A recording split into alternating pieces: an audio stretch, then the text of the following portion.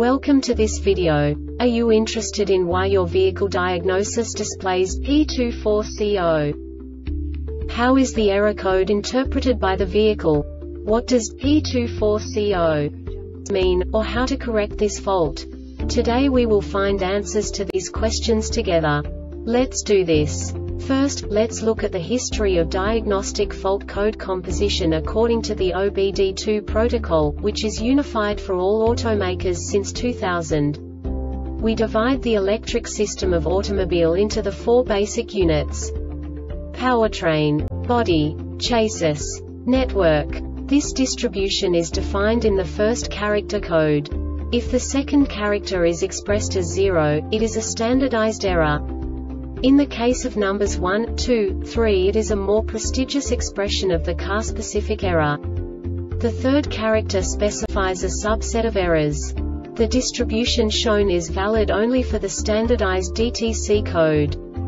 Only the last two characters define the specific fault of the group. Let's not forget that such a division is valid only if the other character code is expressed by the number 0.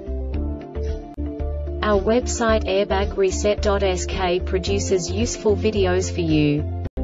You do not have to go through the OBD2 protocol anymore to know how to troubleshoot any car breakdown. You will find all the diagnostic codes that can be diagnosed in a Lincoln vehicles. Also many other useful things. The following demonstration will help you look into the world of software for car control units. You unbelievably can move the video a bit further. The error code is split into two bytes consisting of 16 bits. One bit is the basic unit that each computer works with. The bit has two logical states. 0, low level, 1, high level. By combining the first two bits, the basic character of the error code is expressed. The next two beats again determine the second character. The last beat styles of the first byte define the third character of the code. The second byte is composed of a combination of 8 bits. The first 4 bits determine the fourth character of the code.